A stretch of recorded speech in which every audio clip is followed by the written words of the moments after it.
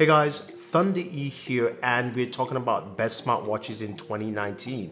And I think I've got a selection of smartwatches I think will fit you quite well. So let's jump in and take a look.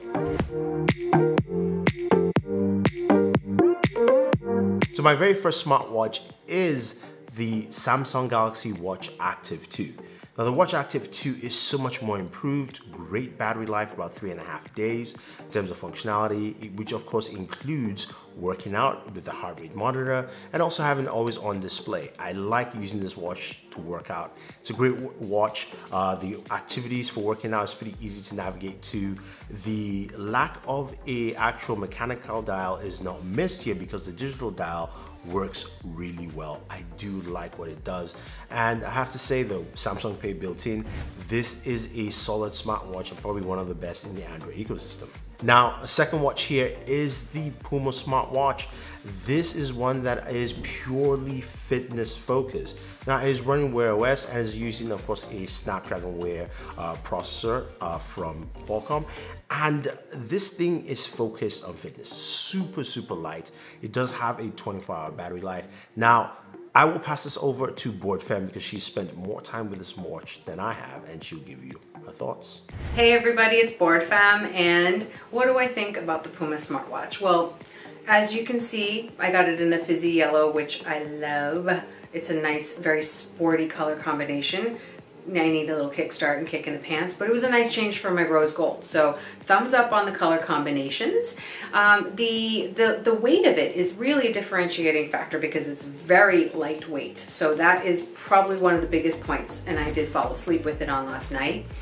Let's see. Well, it's a sports watch, right? Well, you don't have everything in the world thrown into it. It's not supposed to be your entire organizer. So they did change up what you are going to put, what is already loaded onto it as far as capability. So it's sports themed. So you've got Pure Track for uh, Puma Track for you know your activities. You have Wear OS and Google Fit. So you know I'm I'm really actually taking a good hard look at my heart points. So it's been very very helpful, and that's really the first time I've dove into Wear OS by Google. And you know it's it's a great price. It's 275 and it's supposed to be um, ready and you know available on November 14th. So I think for the holidays it's going to be a great gift idea. So definitely check it out. Thumbs up from Board Femme. Bye. Now, there are a few other smartwatches that I haven't tried, but I do have friends who have. I'm talking about my buddy uh, JV Tech T, uh, of course, Jaime from Pocketnow, and Isa uh, to give you their thoughts on a couple of smartwatches I think you guys should take a look at. The TicWatch Pro 4G LTE edition in this case does have a lot of features that make it a compelling smartwatch, but to be honest, the main reason why I would recommend this watch is because of its battery life. The reason why it has good battery life is because there's a second screen on there. It looks a little bit like an old school Casio watch. It's a layer on top of the actual Wear OS full touchscreen that you can use whenever you need it. Now, let me give you a tip.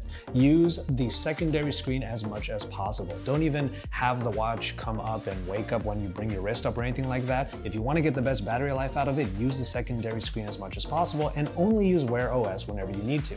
On top of all of that, you do get IP68 uh, resistance for dust and water resistance. You also get the 4G LTE capabilities, which allow it to be kind of like a smartphone on your wrist. So if you do want to leave your smartphone at home, you can just take calls using the watch. Also, you can connect Bluetooth earphones to it, so if you want to do those calls or to listen to some media via the watch, you could do that as well. On top of all of that, it's just a really sleek watch, considering everything that it's able to do. So the Fitbit Versa 2, aside from the fact that it looks still very, very cute with yummy colors like pink, it still has really nice strap options, plus a Bitmoji watch face this new Versa is actually the most improved from all the Fitbit smartwatches. It has now an AMOLED display, it has sleep tracking, it has voice integration. What more can you look for in a sub $200 smartwatch? So what is my favorite smartwatch? I have to say that I've literally tried everything. Like, no joke, I have absolutely every single watch that's launched this year. And uh, for me, it's Apple Watch Series 5. It doesn't have the battery life of Series 3, but it has the functionality of Series 4. Sure, you have an always-on display, which sadly only means less battery life. It, I feel, doesn't end the day as Series 4 or 3 did, but still the added functionality is just hard to find. It takes fitness seriously, which I feel that most watches don't necessarily get it right. And by the way, my previous fitness watch was a Garmin Fenix 5, so it's not like if I haven't tried the best of the best. And yet the Apple Watch is that watch where if I wanna go start a run, I don't even have to wait for the GPS to lock or anything. It just automatically does it somehow. It always gets it right.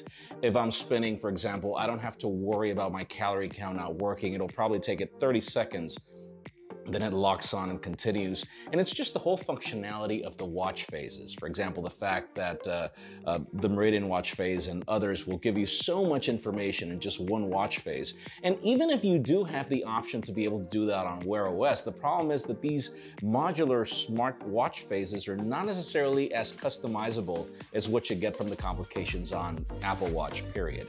I highly do recommend it. And finally, this last watch is not a traditional smartwatch. This is a hybrid smartwatch from Kronaby.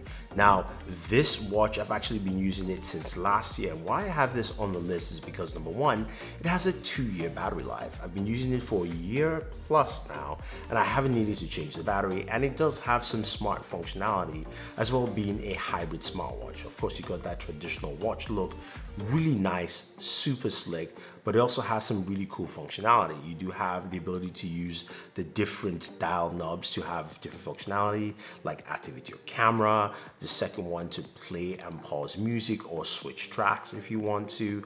Uh, you also have the ability to, of course, uh, do different things like find the location of say your phone or your car using your smartwatch. So those are things that you can actually do with a hybrid smartwatch, giving you two years battery life and of course some really slick and smooth designs. So hopefully all these uh, watches are something that you guys can look and pick from this holiday season and say, hey, look, this is a smartwatch for me. Be it, of course, the Puma watch for fitness, the Galaxy Active uh, Watch 2, uh, the Apple Watch, the Fitbit, or even a hybrid smartwatch to keep you nice, slick, and looking nice. I think there's something for everyone. Now, I want to thank my friends, uh, JV Tech T, uh, Isa, as well as, of course, Jaime from Pocketnow, and, and of course, not forgetting Board Fam. Go ahead and check out all their channels. I'll have the links for you guys down below. Thank them for just joining me and helping me with this video. If you have any questions or any comments, let me know. If you want to find out more about any of the smartwatches, I have links for you guys down below. Thank you and always enjoy entertainment.